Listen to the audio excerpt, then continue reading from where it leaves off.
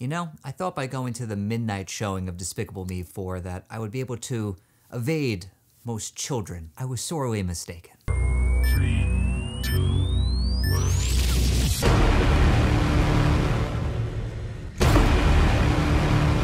Alrighty, people, we've got Despicable Me 4, the latest installment in the beloved animated franchise from Illumination. But before I jump into this review of this new sequel, if you love movies and you love movie reviews in particular, definitely consider subscribing to this channel if you haven't done so already. Plenty more reviews and fun movie content headed your way, so thank you in advance if you do happen to subscribe. Now, Despicable Me 4 catches us up with Gru and his new family. He's welcoming a new baby boy into the world, Gru Jr. Things are going well. He's enjoying family life, and he's working for the Anti-Villain League, I think that's the name of it, where he's capturing, you know, all the most infamous villains out there. But things don't stay happy for long because he's got a new villain to face, and that is a new villain named Maxime, who's voiced here by Will Ferrell, and his girlfriend Valentina, who's voiced by Sofia Vergara, and he's got to go into hiding with his family, but also take down his foe in the process. Yeah, and then you got your new Despicable Me movie with, of course, the Minions. Now, I'm going to preface this review with stating that I am not this movie's target demographic. I am fully aware of that.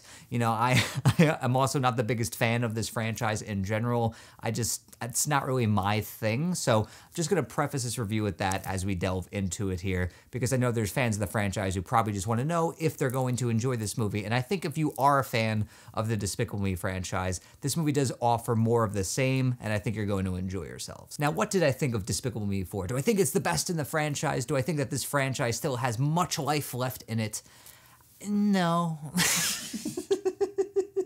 I just find this whole series to be just very standard, very serviceable, and I just I just I just don't find any of these movies to be very spectacular in any way, shape, or form. But hey, that's just me, and I know that I am probably in the minority when it comes to these movies. They all have their varying degrees of entertainment value, but as a whole, I just think this franchise could be a whole lot better because the concept at its center is pretty novel and very unique, and you've got an amazing voice cast, and we've attracted a lot of great voice talents to this franchise. I just, we could do a lot better. That's just all I'm saying. We could do a lot better. Let's strive for, for better. But that's not to say that there's nothing in this movie that I enjoyed. There are some things that I do think still work in this franchise, some things I think that work in the sequel, so let's talk about that. Now, first and foremost, the voice cast is fantastic in the movie. I mean, Steve Carell has shown no signs of stopping his enjoyment of playing this character. You hear the that infectious energy in his voice. You can tell how much he's enjoying playing and voicing this character.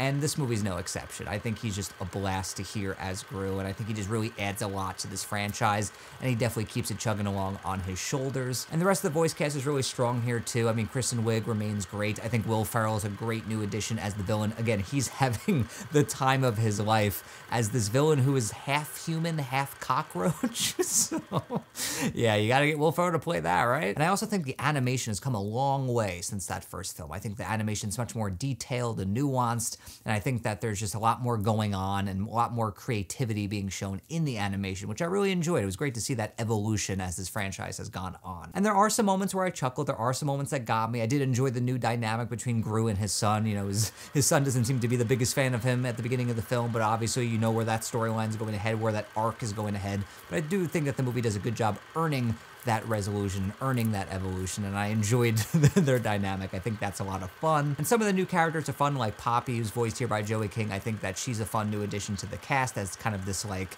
villain protege that wants, you know, Gru's help and trying to get into this villainous school that he went to. But at the end of the day, it's just a very mediocre movie and a very mediocre sequel. It just feels like this franchise is in just cruise control at this point where it knows what fans want. It doesn't want to do anything more. It doesn't want to do anything less. It's just kind of on autopilot. And that's just really a bummer because I really do think this franchise could be a lot more than it is right now. There are shades of a much more mature, much funnier franchise. I mean, there are little visual gags in this movie that I actually think are really funny and really smart and clever, but the rest of the movie is just really going for like the lowest you know, the bar when it comes to the humor, especially when it comes to the minions, which this is going to be a hot take, so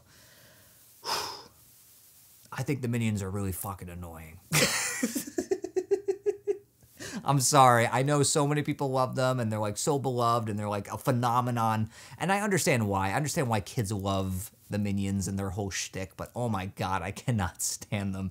And this movie, they don't do anything to win me over, let's put it that way. But there are moments in this movie where there's some darker humor, where there's some smarter humor that I wish that the movie leaned into a little bit more because you can have an animated kids film that can work for kids and adults. We've seen it time and time and time again before, and I really do feel like this movie could have walked that line, but instead it decided to really just kind of gear itself towards kids. And look, that's fine because at the end of the day, this movie's gonna make so much money. Kids are gonna love it. I mean, my audience that I saw it with, it was a pretty packed theater for a midnight show, which was pretty impressive, and there were even applause breaks. So I know that this movie's gonna do well. I know that fans of the franchise are gonna really enjoy it.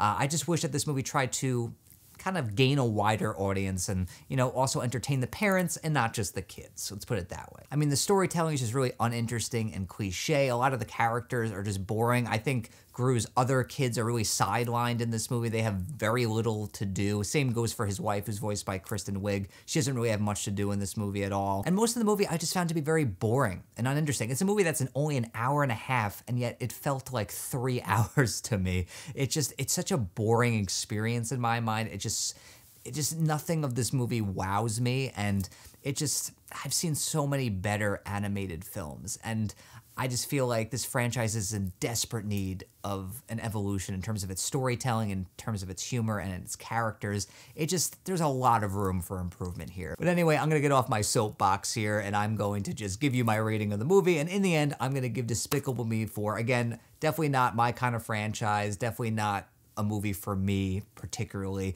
So in the end, I'm gonna give Despicable Me 4, I'm gonna give this movie two out of five stars. It's a serviceable, somewhat entertaining sequel, but I'm just not a huge fan of this franchise. I think it could be a lot better than it is, like I said.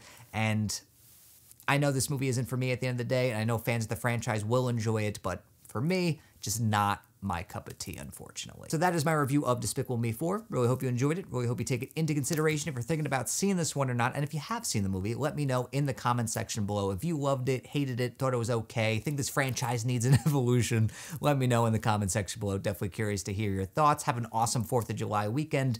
And make sure to follow my film podcast, Film on Tap, where every other week I get together with my buds. We talk about movie news, trailers, we review movies, we go on some weird, wild, hilarious tangents. It's so much fun. Links to that in the description as well. And until next time, everybody, I'm Tom Chatalbash, YouTube's most reliable movie critic.